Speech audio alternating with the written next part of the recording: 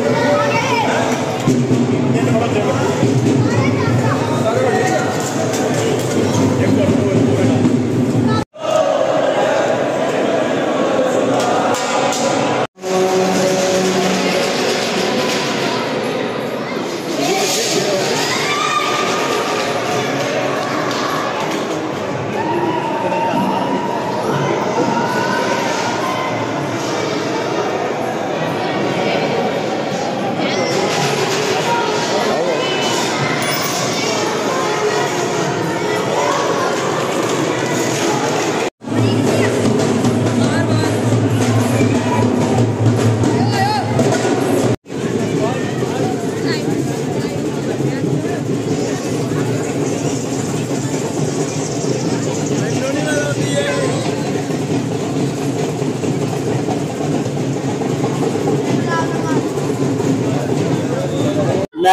ਸੋਨੀ,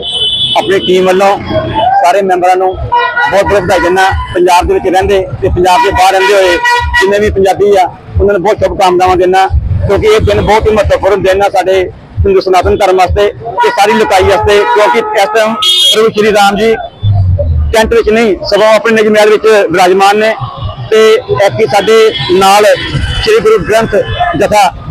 ਨਾਲ ਚੱਲਿਆ ਤੇ ਸਾਡਾ ਬਹੁਤ ਸਹਿਯੋਗ ਦਿੱਤਾ ਤੇ ਬਹੁਤ ਮਾਨ ਸਤਿ- ਸਤਿਕਾਰ ਵੀ ਉਹਨਾਂ ਨੇ ਸਾਡਾ ਕੀਤਾ ਤੇ ਤਾਂ ਤਾਂ ਠੰਡੇ ਲੰਗਰ ਵਗੈਰਾ ਨਾਲ ਲਗਾਏ ਤੇ ਇੱਕ ਆਪਦੀ ਭਾਈਚਾਰੇ ਸੰਦੇਸ਼ ਦੀ ਸਾਂਝ ਦਾ ਇੱਕ ਸੰਦੇਸ਼ ਦਿੱਤਾ ਤੇ ਮੈਂ ਕਹਿੰਦਾ ਇਸ ਤਰ੍ਹਾਂ ਹੀ ਆਪਾਂ ਸਾਰੇ ਰਲ ਮਿਲ ਕੇ ਤਿਉਹਾਰ ਮਨਾਈਏ ਤੇ ਲੋਕਾਂ ਨੂੰ ਸੰਦੇਸ਼ ਦਈਏ ਕਿ ਇਹ ਸਾਰੇ ਇੱਕ ਆ ਤੇ ਇੱਕ ਵਿੱਚ ਹੀ ਤਾਕਤ ਆ। ਜੈ ਸ਼੍ਰੀ ਰਾਮ, ਜੈ ਜੈ ਸ਼੍ਰੀ ਰਾਮ